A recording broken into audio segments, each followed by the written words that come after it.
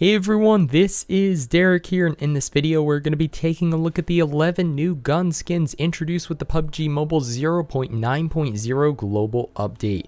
Courtesy of Hydra Beast, who sent me the video as well as the thumbnail. He has a YouTube channel, produces PUBG Mobile content.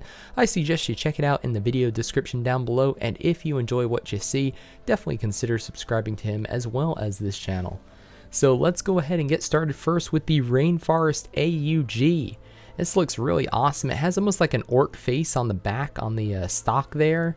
And uh, man, green and orange definitely stands out. Probably the not, not the most camouflage skin in the world, but it does look pretty awesome.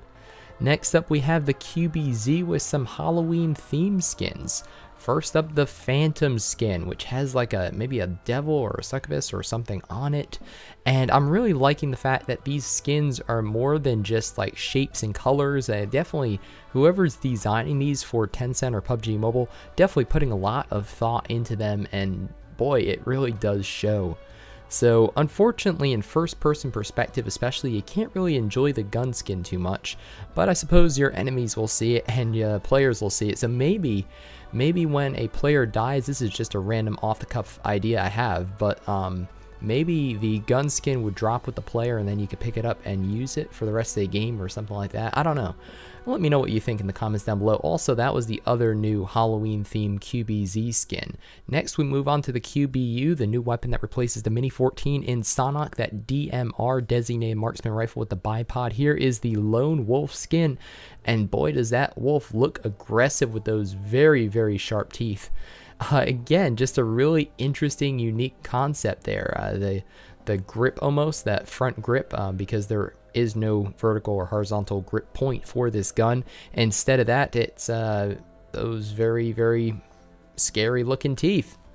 So uh, you can see that this is certainly Halloween themed, these skins, but I think uh, I think they look pretty awesome. This is the exception, the Drifter skin. So the Drifter skin has actually been available for a number of other weapons up until now, but not the Uzi. So now you get it there. How about the UMP9? What's the new skin there? Well, we have the Halloween Party skin, which actually is pretty, uh, it's a pretty neat design there. You've got some like 45 degree angle white and like almost like a metallic orange. Man, I, I like that one. I don't know why. It just really caught my eye. Not because it's flashy, but because it just, I don't know, it's just like a really solid color scheme. So I'm curious how we get that one, and I'm definitely going to try for it. Next, we have skins for the crowbar, which uh, in those melee only custom rooms that I'll be hosting, um, they're they're gonna be pretty sweet. So first up, we have a hockey stick, and then we have the golden scepter skin, which is like a cane. So man, that is crazy. Very, very neat. And uh, yeah, like I said, going to make those melee only games in those advanced custom rooms way more interesting when you're throwing something like that around. How about a sickle skin? It's great for harvesting crops and also impaling your enemies with this touch of death skin.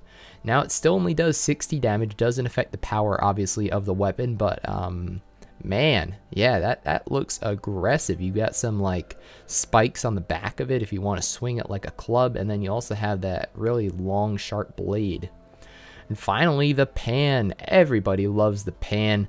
We have the uh, winning chicken skin, and we also have this one, the uh, male player skin. So it's a little PUBG mobile dude, almost looks like a like an emoji almost, or uh, I'm trying to think of what it is exactly, but man, that does look really awesome for sure. So thanks again to Hydra Beast for the video. If you enjoyed it, definitely give this a thumbs up. Consider subscribing if you haven't already, and I'll see you in my Discord or on the battlefield soon.